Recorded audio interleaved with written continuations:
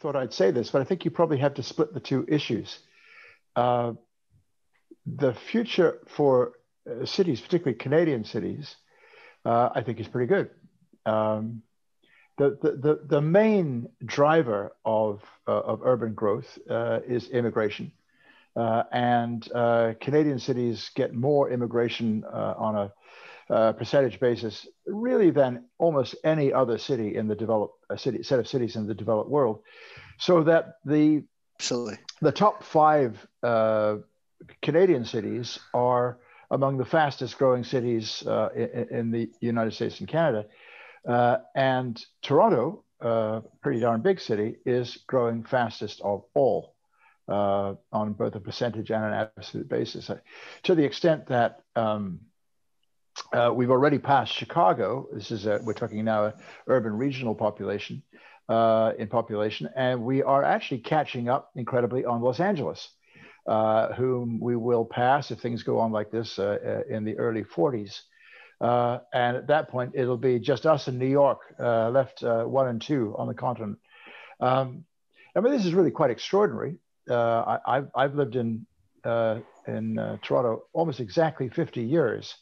Uh, and uh, you know it is one of the most fascinating questions about how did this frankly really rather provincial uh, second tier city uh, get to be such a success. And the largest driver was immigration. Um, I think there are some subsidiary drivers there, which we have a very good education system, a really great public education system. Uh, and since cities are all about smart people, we're producing more smart people than uh, per capita basis than most other cities are. Uh, it's all about universities. Uh, University of Toronto is a stellar university. Uh, it's, always in the top 20 universities in the world. Uh, and uh, so if cities are about brains, which to an increasing degree they are, then you know we've got great brain factories here. Should also should always talk about the, the, the, community colleges, George Brown, Humber, Centennial, Seneca. These are incredible institutions, and, and interestingly, they're they're not that common um, in, uh, in other cities. Uh, uh, it's common to be so successful. So that's those are the, the basic bones of of Toronto's success. I think are, are, set by those sort of fundamental drivers of the city. Uh, the, the, you know there are uh, uh you know to, to switch I guess reasonably quickly to the transit question. Um, this is where I do have some big big problems. M- most of the COVID direct impacts, uh, for example, on uh, people not wanting to go into high rise buildings, not wanting to work in dense office floors, uh, most of these things are going to get fixed uh, slowly. Uh, we're going to see office densities significantly lower than they used to be.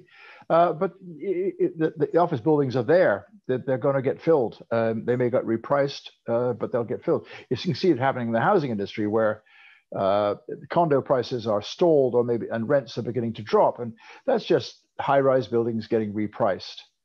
The, the challenges on, on uh, transit, I think, are, are, are much more bedrock. Uh, and this is why it makes me nervous.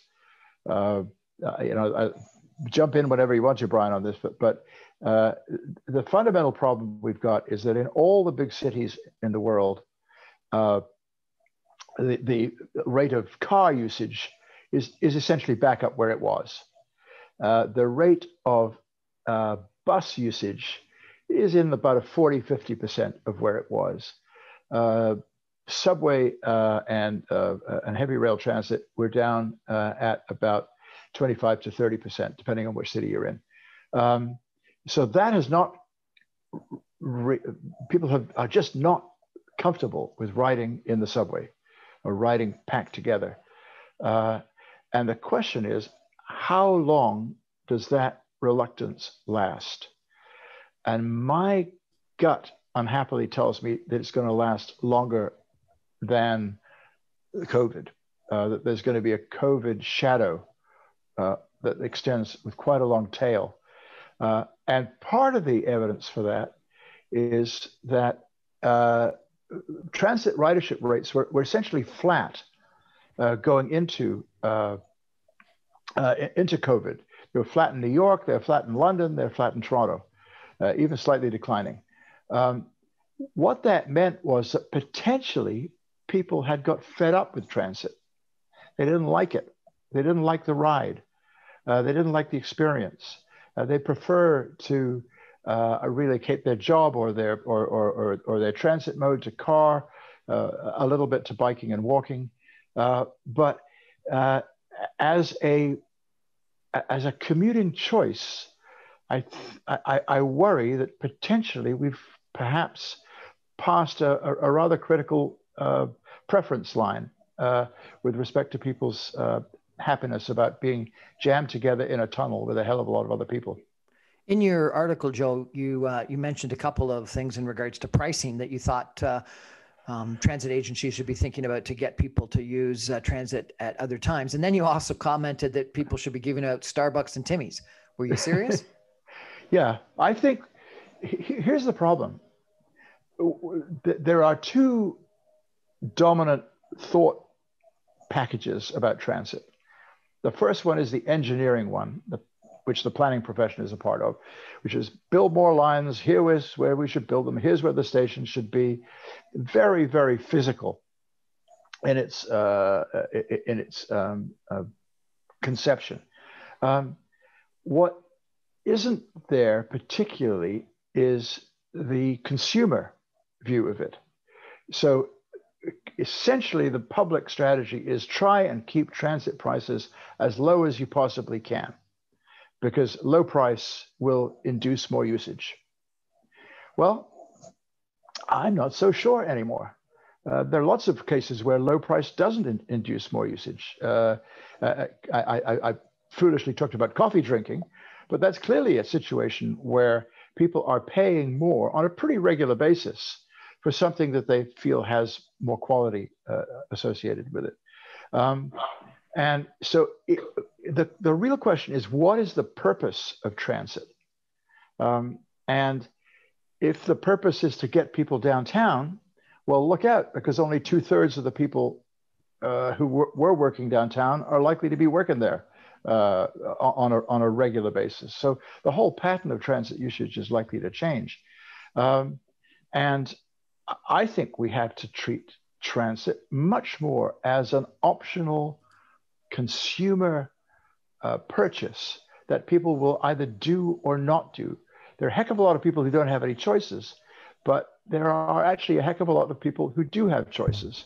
Uh, and they uh, are showing us right now and, and before COVID how they want to deploy those choices. So I would I would sack all the urban planners and I would sack all the engineers and I would bring in marketing people. Uh, people spend a heck of a lot of t- money marketing very expensive cars, ridiculous cars that are getting bigger and bigger and bigger, uh, and they do that out of some weird kind of uh, of, of uh, triggering various nervousnesses about car buyers, about security and safety and stuff like that. So that's why SUVs are getting bigger and bigger. Uh, nobody's ever marketed transit. It's sort of like uh, brushing your teeth. Um, you, got to do it whether you like it or not.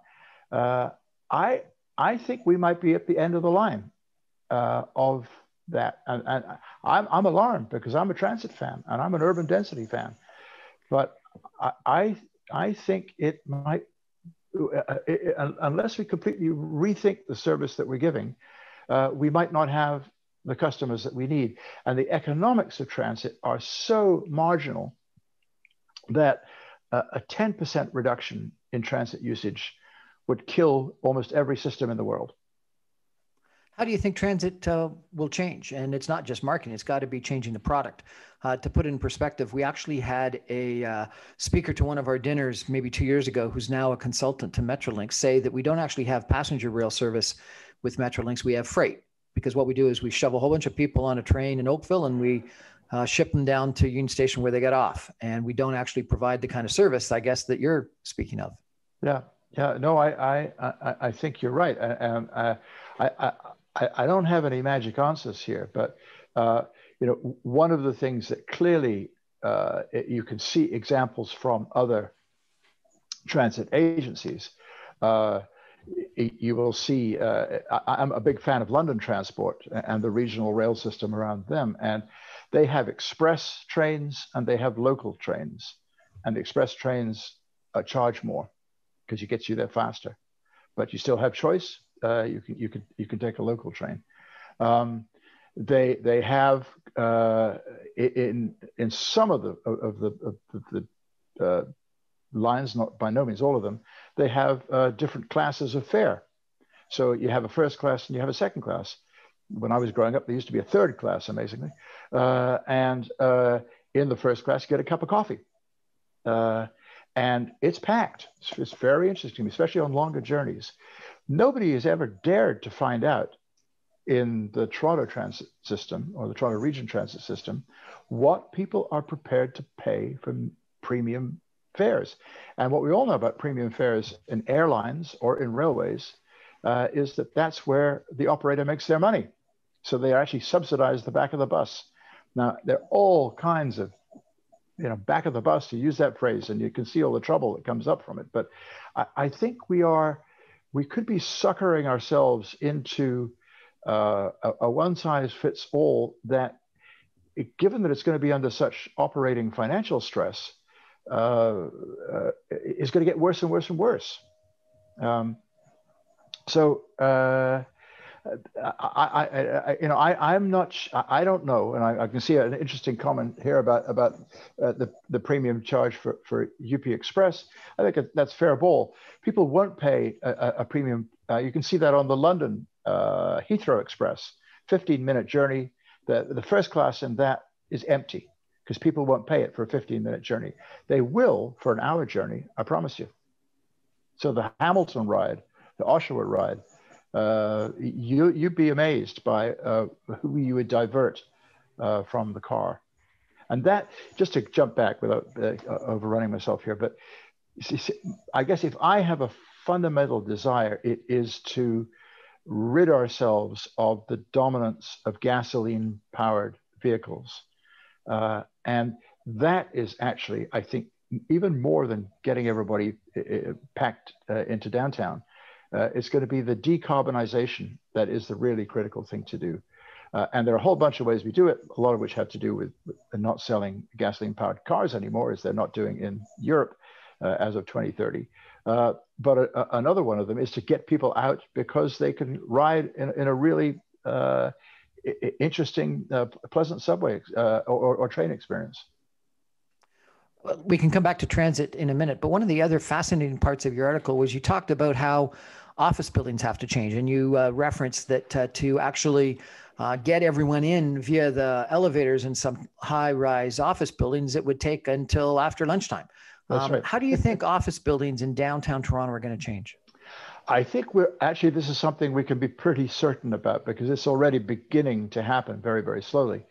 Uh, and, and also, it's happened in Europe. It may be shutting down now, but certainly for the past couple of months, uh, uh several European cities have been back at uh, office occupancy. Um, and what you discover is that it's going to be very tough to get over about two thirds uh, of the previous uh, office occupancy. Um, and uh, because why you've got to have spatial separation in the office floor uh, and secondly you've got the elevator problem which is not trivial uh, getting everybody up and down there's a lot of technology being uh, and, and, and creativity being piled into elevatoring uh, and that's actually i think a, a set of systems which are going to go through a huge change over the next little while they're going to have basically maglev type elevators, sideways running elevators, all kinds of stuff. Um, but the the interesting thing is, if we're down at two thirds the the occupancy of the actual floor plate of an office building, that's the population will be roughly what it was 15 years ago. There used to be about 225 square foot per office worker in the high rise towers. Now there's about 100 square foot per person. So, in other words, in the last 15 years, the square foot per person has dropped because we're all working open plan. There are no more offices. We've got hot desks and all that kind of stuff. So uh, I think those kind of trends, which have been pretty uh, severe in cutting office space consumption, are now going to be reversed for a bit. We're going to we're going to go back to the uh, to the last century. Uh, but that, those... Uh, the, the upshot of that, sorry, is that I think it's going to be very tough for office buildings to have uh, at any one time uh, a, a, a, population uh, that's anything uh, that's more than about two thirds of the population they had uh, before COVID. Do you think that's going to make uh, downtown office building building construction uh, less attractive? Uh, will rents go down? Um, will yeah. Oxford and Cadillac Fairview stock prices go down? Will downtown well, be less I, dynamic? I, I, I, think there's been a bit of that already, but I suspect not, because I think it's going to happen to uh, the, the, stock of high-rise office buildings. Is, it, the same thing is going to happen everywhere in every city, so there won't be much uh, city comparison. I think there's going to be some uh, uh, loss of primacy of the downtown to satellite centers, uh, and and and potentially even just a, an absolute uh, drop in the amount of um, of office space consumed because we all know we can work from home. Here we are. Uh, is it, and, and what we will see for everybody is, I think, a blended work style where we work two or three days a week in the office and two or three days a week uh, at home. Um, so that's going to result in, in, in smaller uh, office space consumption. But uh, the buildings are there. It's just like the high rise apartments are there. They're, they're not going anywhere. Uh, so they will get repriced, I suspect. I think that probably the pace. Toronto has been putting office on office space about a million square foot a year. This is more than New York, more than Chicago, more than loads of places. So that might ease a little bit for a while. So a decade ago, when you were doing work with the Mississauga Summit, you were talking about uh, trying to um, increase density in nodes around Toronto rather than having the whole focus be downtown Toronto. Is this therefore just actually good because it's going to be an acceleration of a trend that you saw yes, a and, decade ago? And, and, actually, what's interesting is that uh, you know the the uh, various uh, reports have suggested that that trend uh, of office uh, worker concentration from the central city out to satellite and suburban centers uh, was already happening pre-COVID. So again, the best guide for what's going to be happening post COVID is what was happening pre COVID. Uh, the, the, Toronto was just getting so big and so dense and so congested. Well, there's going to be an effect, which is that people are going to move out. Uh, and and again, I'm, I'm always drawn. If you want to know what's going to happen in Toronto next year, look at what happened in New York and London uh, over the last 10 years. Uh, and all of the cities around um, New York City, uh, like Newark and White Plains and Bridgeport and uh, etc.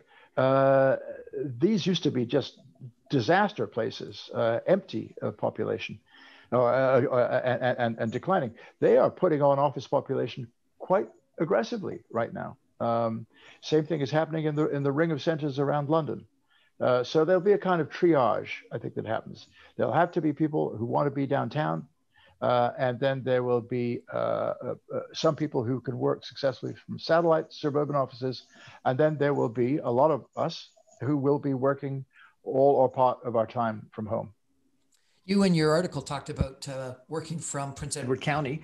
I understand that uh, you know Collingwood and remote places around Toronto um, are on fire from a real estate standpoint. Yep. Suburban areas around Toronto are in high demand. Could it go even farther than you're suggesting and go to sort of what uh, um, you know Tom Friedman talked about uh, two decades ago? The world is flat and you can do work from anywhere.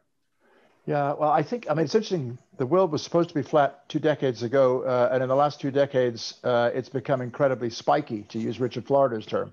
Uh, you know, few or few cities, the, the world's top dozen cities, have been on fire for the last two decades. Uh, and Toronto is lucky enough to be one of those. Uh, that fire is going to dampen a bit. Uh, I'm not persuaded that uh, Winnipeg or Moncton uh, uh, are, are, are, going to be the beneficiaries of the decline of the central city. the beneficiaries, I think, are going to be a ring, and it's going to be quite a big ring uh, around Toronto. Uh, Kingston will be in it. Peterborough will be in it. Uh, Barrie Orillia are obviously in it. Uh, uh, uh we know about Kitchener-Waterloo, but what about Paris, Ontario? You know, all of these folks are going to be, you know, essentially part of that bigger macro city that's, that, has got a, a kind of visible and invisible wiring. You have another interesting uh, point uh, I found in your article, and that is that you thought too much of the focus from a city planning and uh, infrastructure and transit standpoint had been on downtown Toronto. And you thought that all the development in the future should be north of the 401, I think is the words that you described right. it. And you talked about how COVID 19 had, uh, had unfairly uh, negatively impacted uh, the lower socioeconomic parts of uh, Toronto. Can you yeah. talk a little bit about that? Yeah, uh, I mean, it, it, when you look at the map and the you know the maps in the globe today, uh, the, the, map hasn't changed for the last six months. Where are the places that are most negatively affected? Essentially, they're in the northwest of the city and in the city region. That includes Brampton, uh, and they're in the northeast of, of, the city and areas adjacent to that. Um, uh, why is that? It's essentially because that's where people who can't work from home, who had to work uh, go to work on crowded buses, uh, uh, densely packed buses, because they had no other way to go there. Often people had multiple jobs. Um, you know, I had an experience uh, recently of uh, a, a, loved one in the, the, the, the care system. And uh, where did all those care workers came from? I remember because I had all the, the, the, social insurance numbers in my, in my, my BlackBerry, and they all came from up north in the Northwest and they were going to my place and then they were going to three or four other places. And uh, where do all the retail workers live? Where do all the construction workers live? Where do all the truckers live? Where do all the people who work in logistics live? You know these are the folks who actually kept our city going uh, over the last six months. Uh, and they don't live in uh, in the annex uh, and they don't live in in uh, midtown toronto or they don't live in in, in um, liberty village. And so they, you know, they have uh, been hard done by, uh, to be perfectly honest. Uh, and uh, you know, it's really uh, important that uh, we, I think, reverse slightly this enormous emphasis that we've had on the downtown and the waterfront, with a lot of, of blue ribbon projects that you know I've been a huge fan of and I've been supporting absolutely, but you know, they've been going now for 10, 20 years. They ought to be self-supporting. Uh, they ought to be generating their own uh, internal investment systems. Uh, and, and where do we need to, to, to spend money? You know, the, the biggest thing is Toronto community housing, 115,000 units uh, and a $2.6 billion uh, maintenance deficit. Uh, that's where the, the, the people who have suffered most in COVID live. and, and you know, I, I did it slightly rhetorically, the idea that we just, you know, from now on the city should only invest north of 401. But if you look at their investment patterns, it, they have for the last XDX decades been south of 401. Should transit change north of 401? Do you do you uh, think that the LRTs that are planned and things yeah, like that? Well, I, uh, I mean, obviously we've sense? got Finch being built. Uh, we've got we've got other things in the works. Um, I, I think we have to have a very different view of transit. And, and I would love for Toronto to, to, to be a world leader in this, uh, a, a, view of transit in suburban communities. Uh, you know, very little works uh, from a transit point of view in those communities because you don't have the density. Uh, and the, the, the bus uh, is a, you know, the standard TTC bus is just too big and too expensive and too inflexible. Uh, I, would love us to go to a much more imaginative system there where we, we almost create a transit franchise uh, managed appropriately by uh, the public sector uh, that uh, invites uh, private delivery. Um, so there's a little bit of, I'm sure you're all familiar, a lot of the folks here today are familiar with the Innisfil experiment with Uber uh, the pros and cons of that by all accounts, but uh, at least they're experimenting. Uh, the notion that you have to have a, a bus with a very expensive driver uh, that goes on a very inflexible schedule, uh, it, it and frankly picks up very very few people in a lot of the circumstances, other than on the on the arterials. Um, I think we should be really throwing it out there and see what we could do. Uh, uh, there's some combination of uh, an autonomous vehicle, on-demand transit delivery, uh, a, a, a, a, bus vehicle that is in the 10 to 20 uh, passenger range, uh, hopefully without a driver, because the driver is always the most expensive part of, of, tra- of bus transit delivery. that can then act as a feeder to the more arterial systems of, of of LRT and, and subway. Um, but uh, I worry that if we just go on the way we're going uh, with a potentially uh, macro drop in ridership, uh, we are going to bankrupt the system that we have. What should government be doing? Do we need uh, federal government, provincial governments putting substantially additional resources into the TTC and go? Uh, well, I, I think in a, certainly in the short run, they're going to have to backstop them. There's no question. Uh, the amounts of money that are likely to be lost uh, in transit operations are of such significance that um, no government has, the, certainly the city government doesn't have the money to do it. Um, you know, I might be talking pie in the sky, but I, I, I would like us to start to really uh, innovate, as I said, from a consumer perspective on, uh, and from an operational perspective uh, on how we deliver transit, particularly in, in suburban areas. Um, the, there, we, we really haven't moved away from the single delivery system, the single operator uh, of transit, uh, the single fare. Uh, it's it's it's we're, we're operating, uh, frankly, a, a, 50s or 60s system in a world in which uh, everything else around us uh, uh, uh, in terms of, of, of, goods consumption has changed dramatically. why haven't we looked at, at, that for transit? I was just in, in one happy year ago. I was in Paris, and I was driving, riding on the the, um, the one of the principal subway line, tracks uh, in Paris, the, the, number one line that runs along the Seine east west uh, through the whole city, long line. No driver no driver on the most on the busiest Yonge Street line uh, in uh, in Paris. When you go to London, you discover that uh, certainly pre-COVID had some problems post-COVID. Uh, almost uh, uh, each individual subway line is operated by a different operator under the control of London Transport, Transport for London. Uh, these are ideas, uh, and certainly the flexible fare system is, is all over the place uh, in, in, uh, in, London and Paris and other European cities.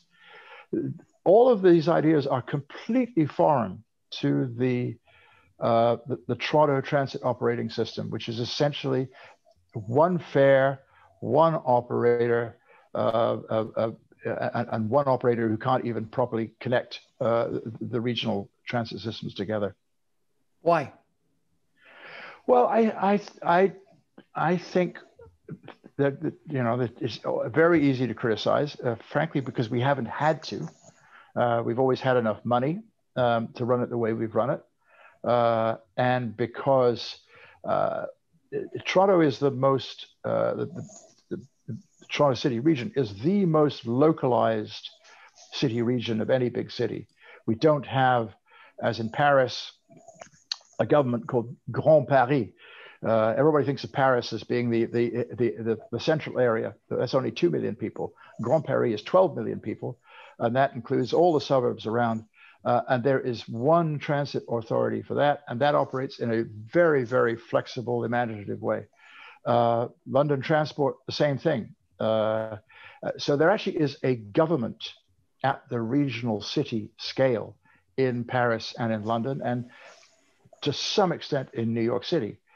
We don't have a regional government, uh, and uh, you know whether we will ever get one is a is a big political question. But uh, we pay the price for that.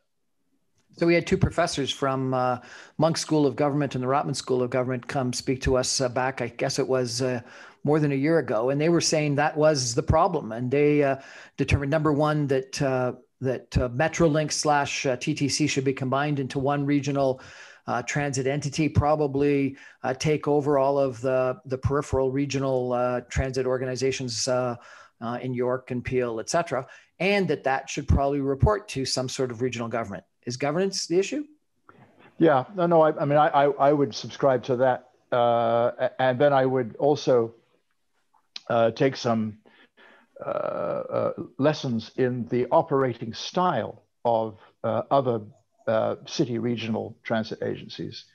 Um, what the, what the transit agency should be doing is guaranteeing quality of service, guaranteeing safety, guaranteeing consistency of uh, of the offer to, uh, to the rider.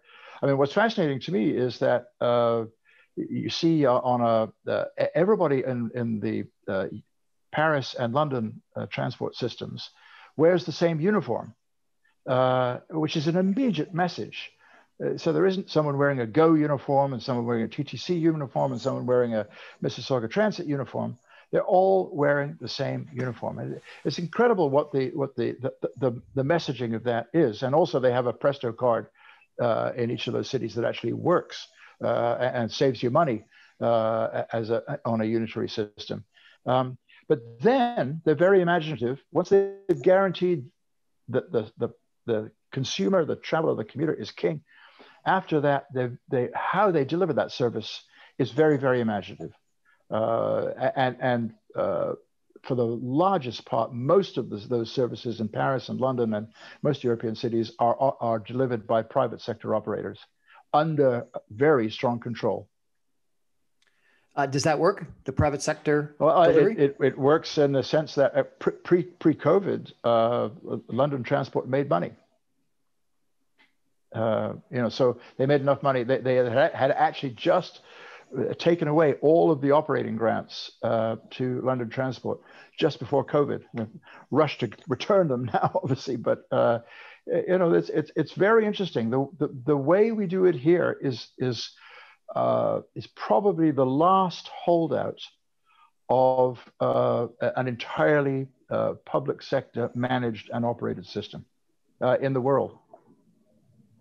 But it sounds to me like you're suggesting that we need to go a lot farther in having uh, smaller cars, uh, um, pri- uh, different classes, uh, yeah. lots more amenities, um, different know, things I, that give people the confidence that uh, they're physically distant from other people. That's right. I, I, mean, I don't know what what the package is, and I just was throwing some ideas out in the article, but uh, I don't think we can repeat what we're doing right now. Uh, uh, you know, we're going to wake up with the most horrendous financial headache uh, in all our cities and, and transit agencies uh, next year. Um, and there's, you know, the question is, should we just try and put everything back together again the way it was pre-COVID? One is I don't think you're going to be able to because I think uh, uh, the, the, the, consumer demand for transit will have changed so radically but also uh, I don't think we should anyhow. We should use, you know, uh, uh, never uh, never fail to make use of a crisis. Do you really think so? With a vaccine and rapid testing, you don't think we'll just go back to normal in no, I think, six to I nine months? Something to, to, I suspect that uh, transit usage has gone the way of uh, e-shopping. Uh, e-shopping was increasing steadily, slightly, not very fast, over the past decade. Uh, now it's just gone through the roof. So transit ridership was flat, slightly declining, and now it's just dropped precipitously. I think you'd have to be a very courageous person to think that we're going to get back up onto the same curve we were before. And even that, as I say, was not was not uh, particularly um, uh, encouraging given that things were static. So the people you're speaking to are members of Transit Alliance. Uh, most of us are in the transit business, um, either working for companies uh, or associations that uh, want transit and or bid on transit contracts or part of 3P uh, partnerships. Uh, given your fairly negative uh, outlook for transit as it is, what's your recommendation to them? I, I think we all. I mean, I, I have no. I, am the same way you know, our, our firm uh, bids on a lot of transit projects, uh, and and uh, and uh, I, I am a huge believer in in finding ways in which we can all move easily and comfortably and environmentally safely uh, around our cities. Uh, but I think we'd be nuts not to recognize that something fundamental has happened, and the response to it cannot be just going back to what we were doing before. And right now, do you think that the TTC and Go Transit are effectively just going back to what we did before? I, I, I think they are doing a fantastic job under unbelievably difficult circumstances, and I have nothing but uh, admiration for the people who work there, and and you know for the, for the line staff who have to cope with um, uh, with, with, with situations that you know frankly are probably putting them at risk in uh, in, in some way. Uh, and so I, I, you know, I, I think um, they are dealing right now with a crisis, uh, and they're dealing with it as, as best they can. Um, and uh, what everybody needs to do, and I suspect it has to be done probably uh, in, in the in the chill of the new year, is take a deep breath and say, are, are we going back to exactly where we were before? Can we go back to exactly where we were before? And you obviously think not. Uh, let me ask you one last question before I open it up. Sure. Um, in your article, you also, uh, talking about uh, will we go back to the way it was before, comment that um, you think Main Street retail will do very well because of the desire to go directly into um, the stores or the restaurants. And you, I think, uh, worry about regional mall uh, type retail. And then you also, um, and I've got a self interest in this, uh, comment negatively about major events like sporting events and concerts and uh, things like that. What do you think is going to happen to regional malls versus Main Street, and what's going to happen to major events? I'll, I'll start with the major events. Uh, you know, when do we all go to a sporting event again? Uh, and you know, probably isn't going to be until sometime in the spring. But at that point, I think that will gather steam and we'll be back to normal on that. I mean, I, I, I, I uh, uh, and partly, I, without being sort of overly uh, crass, it's because there are a hell of a lot of businesses whose lives depend upon us going to sporting events and concerts, just like there are a hell of a lot of uh, businesses depend on us getting onto, a, onto an airplane. Uh, so I think that that will steadily come back. Uh, the the shopping thing uh, I mean, it's fascinating. I was just listening to a program last night which said that uh, uh, people used to, on, on, average, people pre-COVID spent about 40% of their food budget on eating outside uh, of their home. Um, that has dropped down to 8%. Um, so I mean, I mean, uh, we all know that because nobody's going to restaurants very much, and, and, and even the takeout, et cetera, is not being consumed as much as it was. Uh, uh, so I think we will see uh, main streets probably coming back to life. The, the, the, the fact is that restaurants are a pretty key uh, driver of main streets. They don't, main streets don't sell anything uh, useful uh, anymore. They sell experience and pleasant shopping uh, and, and, interesting things to, to do and see. Um, but I suspect they'll come back. And also, the other thing this is where Toronto is an immigrant city 50% of the people here not born in Canada.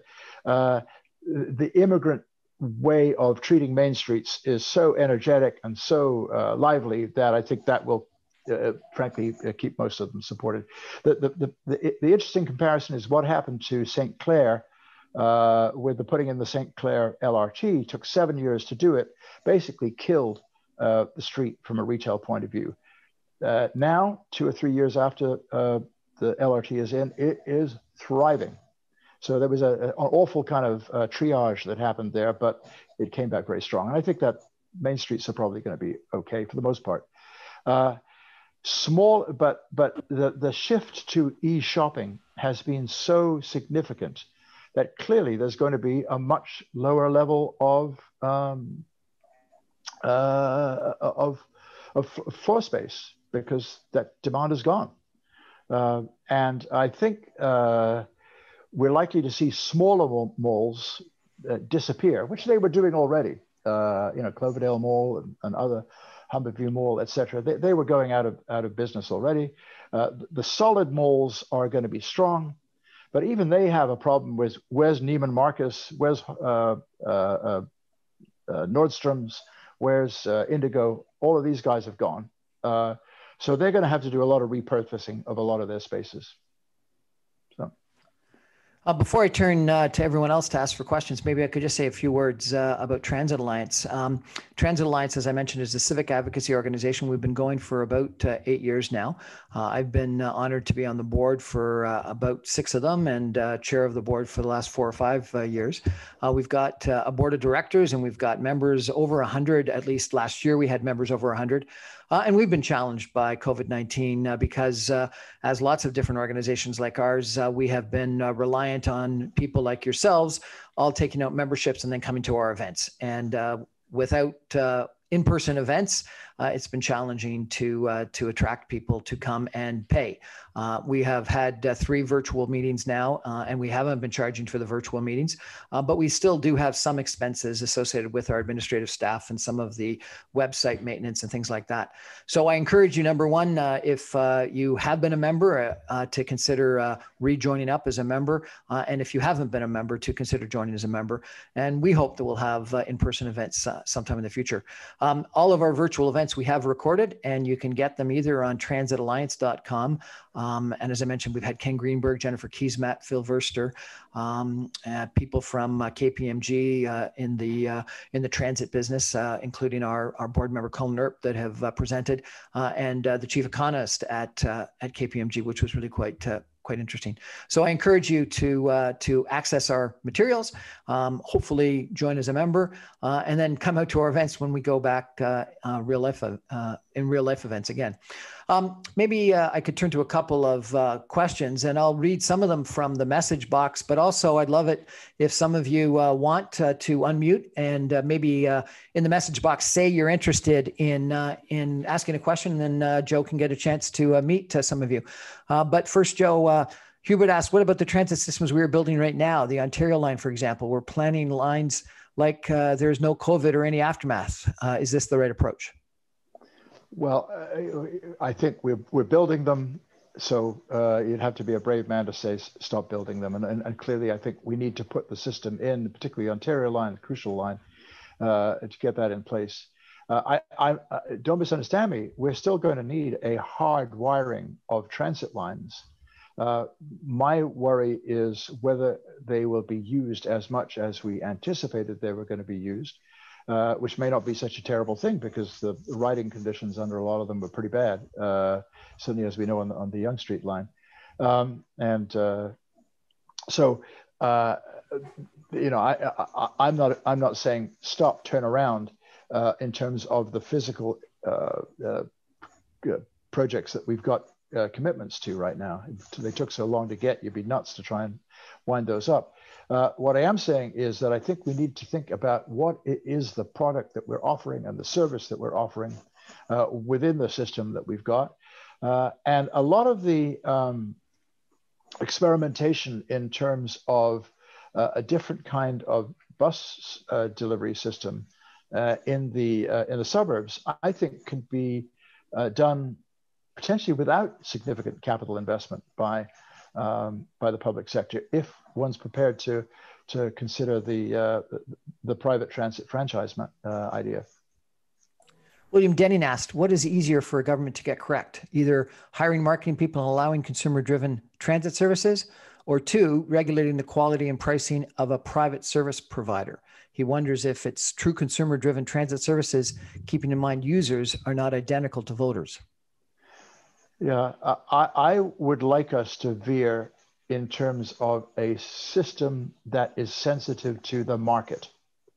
Uh, uh, ultimately, under public direction, must be under public direction, but a system that's got market feedback loops in it. Do we know whether uh, people would pick up on uh, off peak fares? Uh, if we suddenly said, uh, which is the characteristic of the London transport system, you have a lower fare between uh, 10 o'clock and 3.30 um, than you do at the rush hour times. What would be the effect on ridership? We have no way of finding that out right now. Uh, but it would be a very interesting thing to find out. And given that we are trying to spread the peak of people getting into all those high rise elevators downtown, uh, this mightn't be a bad idea. We had another consultant come present to us, I think two years ago, that said that uh, the UPX uh, uh, was uh, designed by an engineer. It was designed by a marketer uh, that uh, the stop would have been at Bay Street rather than past Simcoe, um, and that that would have increased um, ridership dramatically if a businessman could have gone from Bay and King onto the UPX rather than having to walk the several extra blocks that it takes, uh, and said that he thought they just would grab a, an Uber or a taxi or a limo to the airport rather than walk to uh, past uh, University or York or Simcoe. Uh, and then, second of all, you'd have uh, two stops at Pearson, one at uh, Terminal One and one at Terminal Three. Do you agree with those two comments? I, I think that's very sophisticated thinking. I agree. we, we all know we've all wheeled our our our bag uh, that endless walk. Uh, uh, by the way, where, where, there are still not escalators um, from the subway to uh, the, the, the UP uh, Express, you still have to lug your bag upstairs. It, it, it's not designed for the kind of fluidity and utter ease and comfort that are part of the decision thinking of people about their life experiences now. Um, and uh, I, I, keep coming back to coffee. I mean, you can end up spending four or five bucks for a coffee. People are doing it. They got to be out of their heads. That's as much, uh, you know, two, two, coffees than you paid for uh, uh a, a, UP Express fare. Um, and so I think we we've got to have some price circuits in there. Um, we got asked about uh, face-to-face meetings and uh, the importance of face-to-face meetings and a lot of the things that you've talked about um, in regards to uh, um, you know the death of downtown or not the death but but the diminution of downtown suggests that face-to-face meetings and zoom is okay. What do you think? Are face-to-face meetings important are going to come back? Oh yeah yeah yeah yeah yeah. I mean, I mean I, the other thing i said in the newspaper article is that uh, i mean uh, who on the call today hasn't had it with zoom you know? I mean seriously You know, and the reason is because uh, you know I, am finding it hard to see your eyes. Uh, I can't interact with you. I can't say, "Oh, they didn't get that. I better make it better." Or, "Oh my God, they think I'm talking nonsense." Um, there's a whole uh, uh, uh set of dimensions of face-to-face contact that are so much richer. The other thing is we're human beings. We like a lot of us like work. We like meeting with people. Um, we love being at home, but we also love what we do. I, I hope.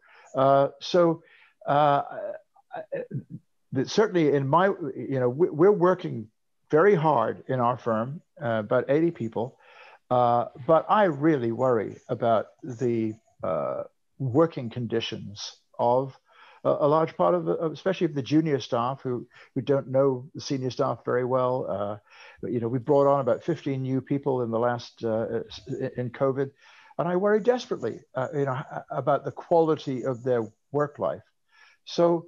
Uh, no, we human beings are social critters, and and and being social critters adds to the value and productivity of what we do. And so, the, the the office isn't over. The interesting thing on this one is that you know a, a lot of the tech guys were saying, ah, we're, we can everybody can work remotely.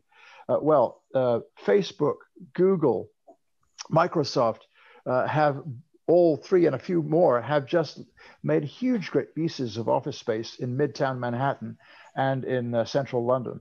So uh, I, I, think we should recognize, and, and they are very much the drivers of the modern city. William Denning, do you want to ask your question, sir? That just now, or I, I can't hear. Go for it. Alpha Bravo, can you hear me? Yes. Uh, just. Um, well, uh, Joe, I, I, really do appreciate your point of view on a lot of this stuff, um, especially on the, um, the, the concept that Toronto has to embrace being a big city. We are a big place, and we have a future as a big place, provided we can step up to it. And I would also argue that Toronto has always done better when it has planned sort of two steps ahead of where it is now. In other words, in the early 1950s, when we were a town, we tended to think about what would it be to be a medium-sized city. And now that we're a medium-sized city, I think we should at least be thinking about what would it be to be a large city. Uh, that what you need is not so much um, the, the, the, mindset needs to be bigger than it is. And on the other side, on the service delivery side, I completely agree. I've had a lot of experience in private sector delivery of transport options, and that's you know, it, it can be done. What we don't have is a competence on the provincial and municipal government sides to, to actively engage and secure the public interest. Part of the problem there municipally is not having a municipality of the region of Toronto. Um, the one that currently bothers me the most is the Eglinton West um, Crosstown LRT extension, um, because they're going through a unique, uh, very specialized, very accelerated procurement process to get us the tunnels built. Um, separately from that, later on, we'll get some procurement of vehicles and stations and signals and all the rest, but a very rapid procurement within the next month, really, of um, these tunnels. And the Metrolinx evaluation of this before COVID last February showed that this project costs about 5 billion and the economic impact is negative 3 billion. And politicians at the time said, well, we're not trying to make a profit. That confuses finance and economics. The economic impact is you will shrink the economy of Ontario by $3 billion. Why would we invest five to shrink the economy by three pre COVID? Now, the analysis done now would, I suspect, be even worse. So, well, I, how do we get out of this mindset? Yeah, I, I mean, the, the, Bill, the, the, the, real trouble is I don't I, I, I don't know. I, I mean, there there are also some wicked problems that are irresolvable. You're never going to have a municipal government of the Greater Toronto Area because it would be three quarters of the province, and no province in their right mind would ever allow such an entity to grow uh, uh, to that scale. I suspect. Uh, uh, and that's just a kind of uh, uh, at birth reality, which we who work here have to have to reckon with. Eileen, do you want to ask the next question? Sure. Hi. Thank you. Hi, Eileen. How are you? I'm good. How are you? How are you? It's so great to see you. And I see your uh, I see your sailing map behind you. So That's right. Thank you for thank you for staying on dry land to come and talk to us. Um, I actually this is a bit of a, a, a follow up to Bill's question because you know, Bill, I take your point, and I'm an economist, and I get the math of what you've just talked about but where do we where do we address those non-financial aspects of transit investments um, and that government should be considering? So for example all of those folks who are in precarious roles who are uh, don't have the choices even if they even if the choices existed between the starbucks transit ride and the and the tim hortons transit ride there are many folks who can't make that choice don't have the choice the wherewithal to make the choice. But we need we need them to get to the jobs jobs that we're asking them to do. Um, and also, many of them are doing jobs that no, many other people won't do. Um, so, how do you reflect that in those business case calculations? Because I think that needs to be taken into account. Well, one of the interesting things uh, uh that I find fascinating, uh, a little bit the same way with air, the airplane business, uh, the guys in the front of the plane pay for everybody in the back. Mm-hmm. Uh, uh, the, the transit uh, ridership premiums on the intercity rail in England, which is basically anything over an hour or so, you're paying three or four times as much for your, your seat uh, as the guys are who are on um, a premium price ticket. So uh, don't assume that a two class system assumes that uh, the, the, the, the, the, the, less expensive ride uh, is, uh, or, or, assume that that less expensive ride is probably getting subsidized by the front of the bus. Uh, and uh, that's the kind of math which nobody has ever dreamt of doing. I don't know how, it's also tricky to know as a practical matter how you would do that on a, on a GO train or, or certainly on a TTC vehicle. Uh, but it is the kind of thing we need to think about. Uh, and, you know, I, I would love it on the Lakeshore West and Lakeshore East line if we built a system, which I don't think is impossible to do, where you could go from Hamilton to Oakville uh, to Port Credit to Toronto, three three stops, two stops, uh, and you ought to be able to do that in about 45 minutes. You can't imagine the, the ridership you would get from that, because now it's a, a, a, very laborious journey uh, and stopping every uh, every 10 minutes. Uh, so that it's that kind of thinking that um, and on that you could charge a lot of money for. You know, I got to tell you, I uh, am a frequent user of the Long Island Railway in Long Island, and yeah. uh, there is an express from Penn Station to uh, Southampton. Mm-hmm. Only runs on the weekends and only in the summer, uh, but it's an express the whole way out, and you get a drink as you enter into the uh, the car, or at least drinks are available. Yeah. Uh, and it's packed crowded, so it's certainly not first class. But I got to tell you, it's packed crowded because it's very attractive to skip by probably 30 stations on the yeah. way to Southampton. Yep. Nice Any other questions? Anyone else wanting to ask a question? The comment I had for Eileen was uh, transportation always has two dimensions. There's a side of it which is um, a, a necessity. There's a minimum level of access and mobility that's a public good and should be available to everybody at some price. And that's a regulatory issue of where's that standard that we assume. It's like mm-hmm. um, elementary and secondary education, you don't pay separately to go to those schools. But then there's a huge proportion of transportation which is commercially, um, could be in a commercial regime. And that's exactly what Joe's talking about. So once you set up your base standard, parliamentary trains of the 18, whatever it was, 1850s, um, above that standard, you should be applying commercial logic. Fair enough. And I think what Joe is also saying is that the network can, elements of the network and the product offering and the spectrum of um, different different prices could be used to cross subsidize each other. So you don't have to worry about that uh, TTC transit ride because it actually is being paid for another product elsewhere in the system. Yeah, I mean, that's already happening. Yeah. Uh, you know, obviously, uh, the the, uh, the Toronto Transit Commission, uh, not every bus route is equally profitable, mm-hmm. uh, but every bus route charges you the same fare.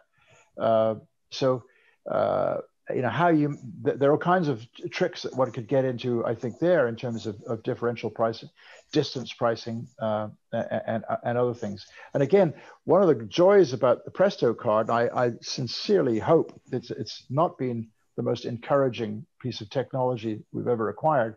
Uh, but I hope that it's capable of managing this kind of uh, imaginative uh, pricing. Joe, maybe I can ask you one last question. Um, what's your vision long term if you were Premier of Ontario or Minister of Transportation or the czar for transit in the GTA? What's the one big change in the next five years you'd love to put in place? Well, there are two related changes. Uh, first is I would love to see there being all transit being uh, the responsibility of one agency, uh, and that there be one uh, uniform worn by every transit operator from St. Catharines uh, to uh, to Oshawa. after then, and, and that that agency would be responsible for all uh, for the Presto card, uh, for the receipt of all uh, fare revenues, uh, and it would then, within very strong guidelines, uh, commission no. individual parts of the system. I'm on a call. sorry. Yeah, commission the individual parts of the system to operate in the most efficient, effective way possible. Uh, and that would uh, sometimes involve private sector operators, sometimes not. Uh, but uh, it's a little bit like with the, the garbage collection in Toronto. I love the idea of having uh, half the city privately collected, half the city publicly collected. Uh, we need to start doing that in, in transit as well. Well, thank you very much, uh, everyone, for joining uh, us today on the Transit Alliance session. And uh, Joe Berridge, thank you so much for being no, our speaker today. I really appreciate of, it. Lots of familiar faces. So nice to see. Thank you. And uh, maybe I could give one last pitch again. Uh, if you're at all interested, please uh, come to transitalliance.com and uh, and join up as a member, um, or at minimum uh, sign up for our newsletter so that you can get uh, all of our announcements of future upcoming events. Uh, and this session has been recorded and we will be putting it on 960 a.m. Uh, probably in about two weeks. Uh, and or I'll be uh, posting it in Transit Alliance. I'll be posting it so you can listen to it again. And by the way, I've got this nightly radio show where I've interviewed a whole bunch of different people on transit and a whole bunch of other uh, topics. So feel free to um, take a look and you can see those on briancrombie.com. Joe Berridge, thank you so much. My pleasure. Have a good evening. Thanks everyone for joining.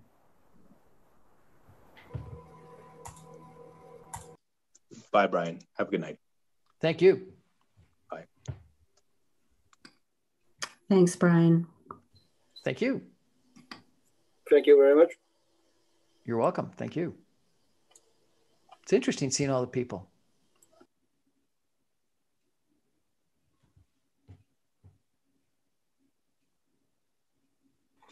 Haven't seen you in a while, Brian. That was really great. Thanks, Saba. How are you doing? I'm good. I missed you. It's been a long time. We got to get someone for uh, November. Any ideas? Let me know. I'm in trial in November. I'm really, really swamped. Things are going to ease up for me in mid December. Okay. Well, let me know if you've got any uh, great ideas. Yeah, we'll do. Okay. Thanks so much. Take Good care. Bye bye. Bye.